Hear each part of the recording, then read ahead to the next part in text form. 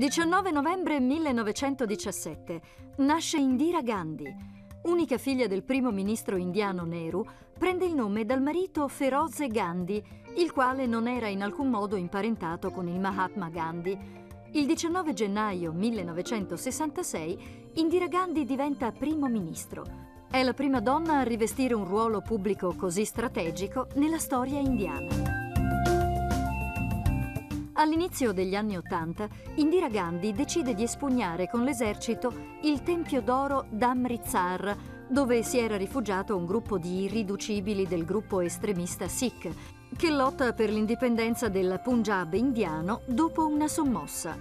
Nel 1984 Indira viene uccisa in un attentato da due guardie del corpo di etnia Sikh. La stessa sorte, per mano delle tigri Tamil, toccherà al suo figlio e successore Rajiv.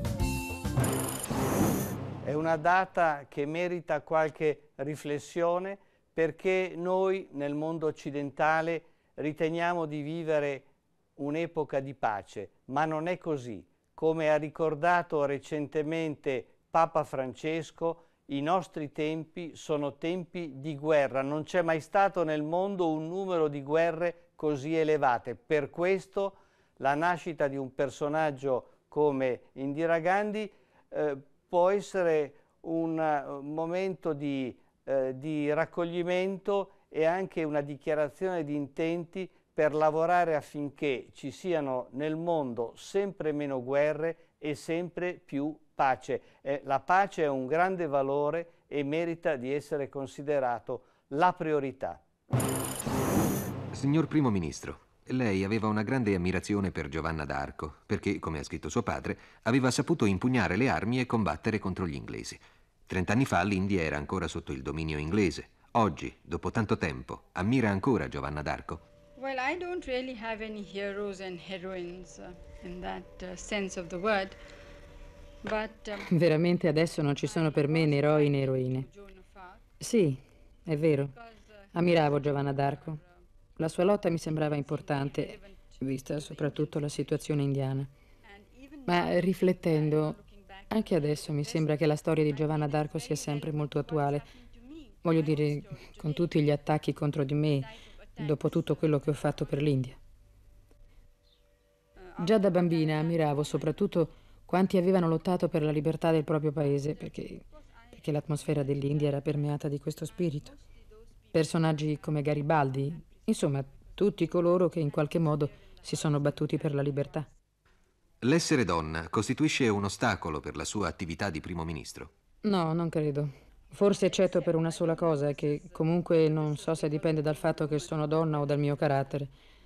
Credo che ognuno di noi abbia qualcosa di maschile e di femminile. Io penso che forse la situazione attuale in India si sia creata perché io ero troppo mite.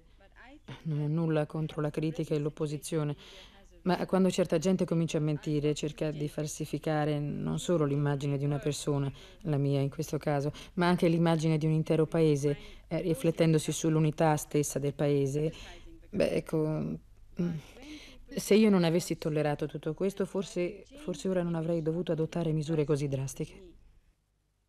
Indira Gandhi, 57 anni, da 9 a capo del governo del paese più difficile del mondo. L'India, 600 milioni di abitanti, 14 milioni di bambini in più ogni anno. Un paese scosso da flagelli annuali. Un caleidoscopio di razze, religioni, partiti. 42 caste principali, 14 lingue ufficiali, centinaia di dialetti. 600.000 villaggi sparsi su un territorio enorme.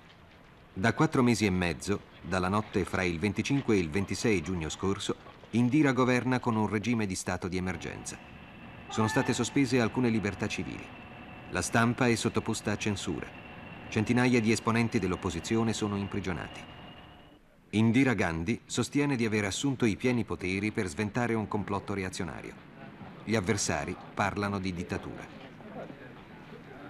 Resta la straordinaria vicenda di una donna con compiti in mani, con decisioni difficilissime, corteggiata od ostacolata dalle superpotenze, osannata e criticata all'interno del suo paese. Indira Gandhi adesso è nell'occhio del ciclone. Coraggiosa o arrogante, sconfitta o vincitrice, Si è detto che nella notte del 25 giugno Indira ha dato un colpo mortale alla più grande democrazia nel secondo paese del mondo come popolazione.